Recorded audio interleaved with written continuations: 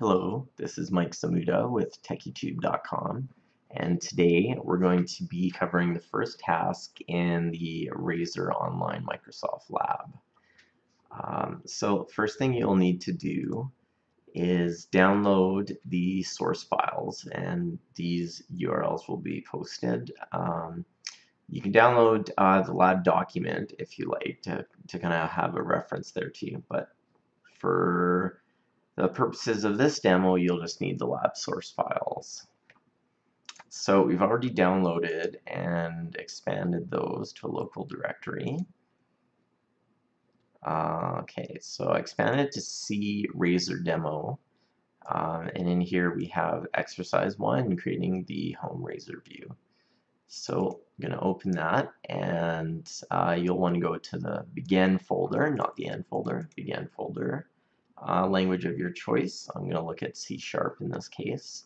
And there's the MVC Music Store solution. So we're going to open that. And there we are.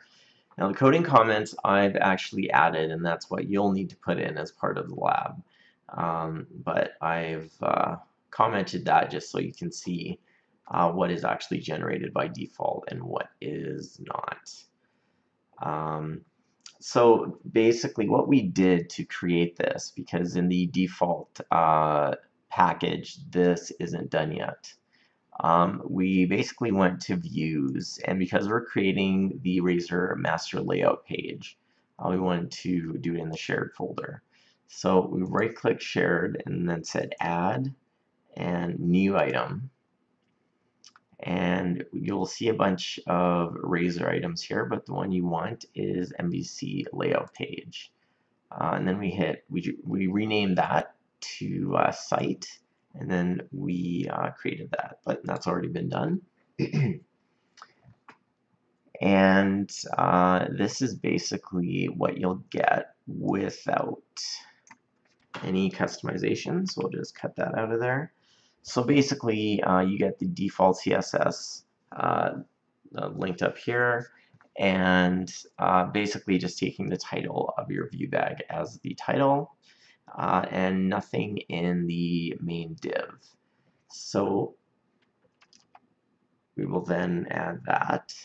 Oh, um, no, that's not 100% right. It's actually uh, every. It's actually empty, but render body. So uh, otherwise, you wouldn't see anything. So yeah, the uh, the divs will come out uh, with just this in the body. So that's the only thing that would execute. Um, but now we'll add uh, the code you will be adding during the lab. And uh, we'll see what this does. So basically, this setup this sets up a common header uh, with our main title there and and a few links here as well. Um, and we also have our first example of a razor conditional. Uh, if the section is defined, then render it. Um, so pretty self-explanatory there, just to check to make sure we don't try and render something we don't need.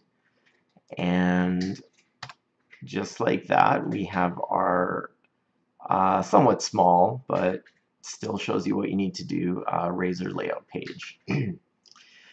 In our next video, we will be covering task number two, and that is, as we can see, task one, creating the layout. Task number two will be adding a view template. Uh, so thanks for listening, and I will see you there.